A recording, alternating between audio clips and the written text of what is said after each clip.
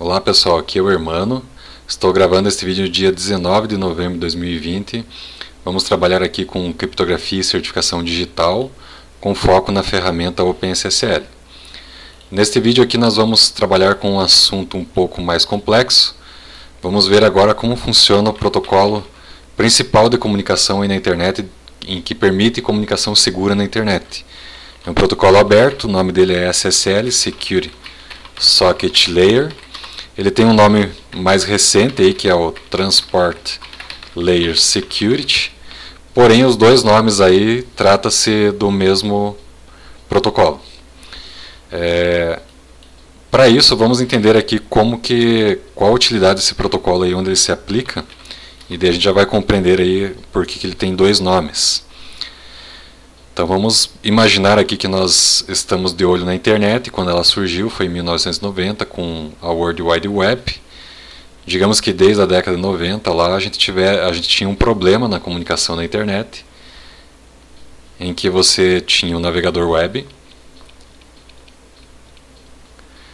e um servidor web.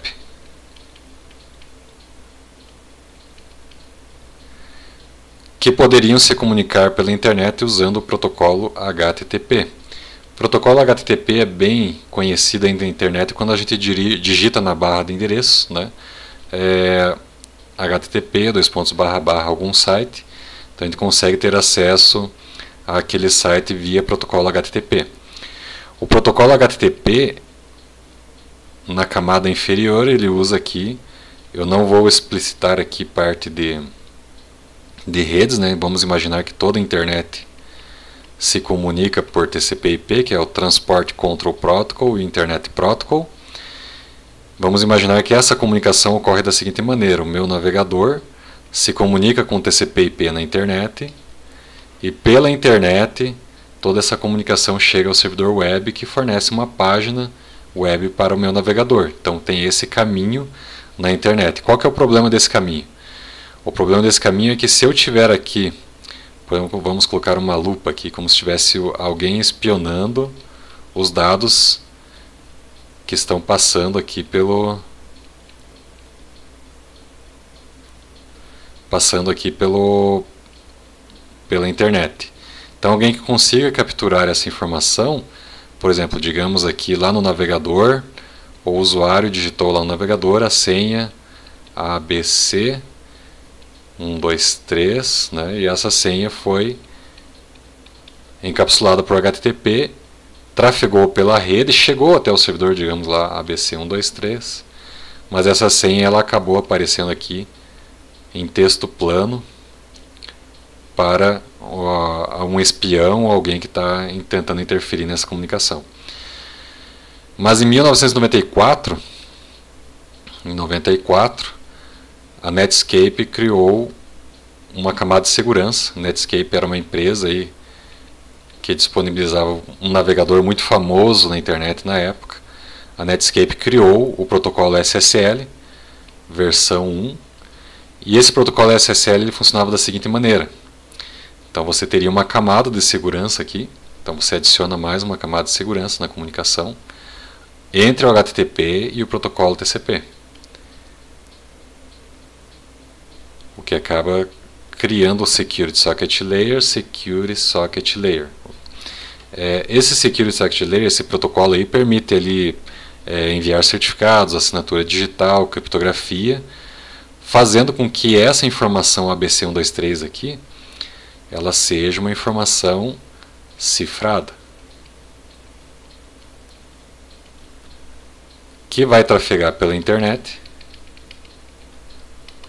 tranquilamente e vai ser decifrada somente lá no servidor. Somente o servidor de destino vai conseguir decifrar o que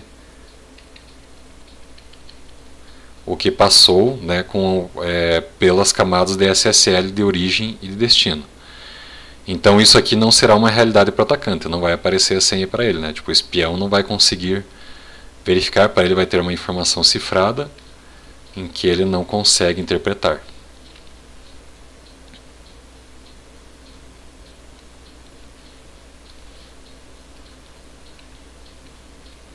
Ok?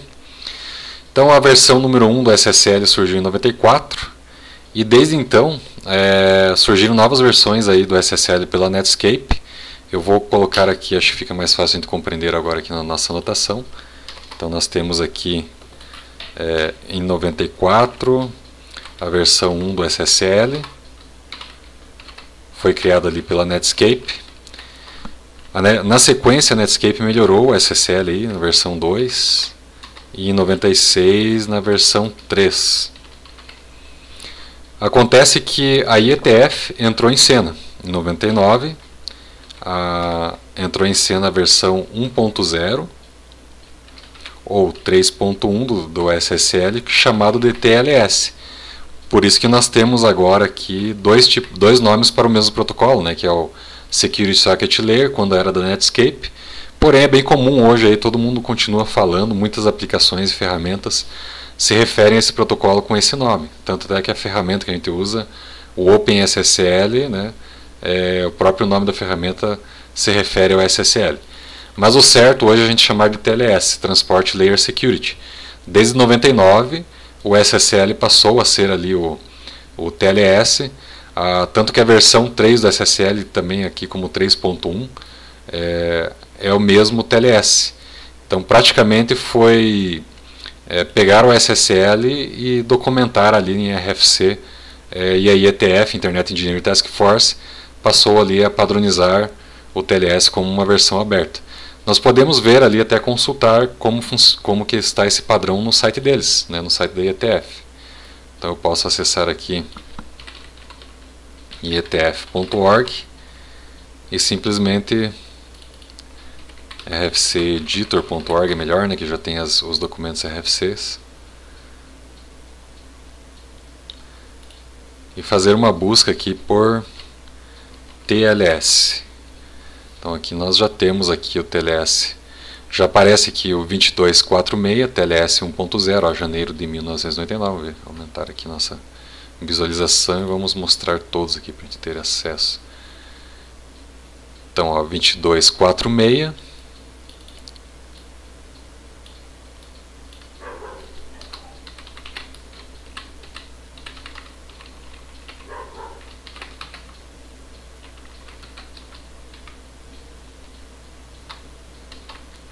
Vamos colocar aqui como versão 1.0.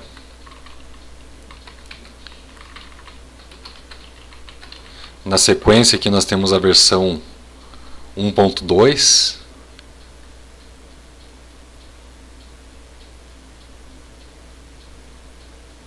Um perdão, lançado em 2006, a versão 1.1 do TLS, daí já tem algumas mudanças mais significativas aí no protocolo mas eles pensaram ali em manter a compatibilidade entre as versões. É, RFC 4346.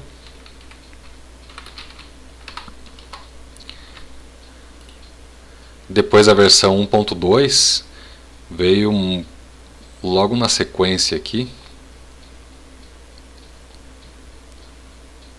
Ver se eu não passei a versão 1.2. Aqui está a versão 1.2 em 2008. Então, em 2008, versão 1.2, TLS RFC 5246. Nós vamos consultar aí nos próximos vídeos essa RFC. É, vejo que de 2008 até a versão atual agora que está sendo aplicada aí nos servidores da internet, a versão atual aqui ela demorou bastante para chegar. Ela levou mais uma década aproximadamente. Então aqui está a versão TLS versão 1.3, cadê, cadê aqui, ó, RFC em 2018, a versão 1.3 TLS, documento RFC 84 8446. Ok, então nós temos aqui é, agora que a gente consegue entender aí para que, que, que, que é utilizado o Security Socket Layer, apenas uma introdução aí para os nossos próximos vídeos. É feito aí um é feito aí um encapsulamento ali. O HTTP é um exemplo, existem outros protocolos aí que podem utilizar o SSL, Security Shell aí para quem faz acesso seguro aí de terminal na internet. Então existem vários outros serviços aí que podem utilizar o SSL ou o TLS é, se, é, no caso, neste caso. Né? Uma coisa interessante aqui que a gente pode observar é que nós temos dois nomes com o mesmo protocolo.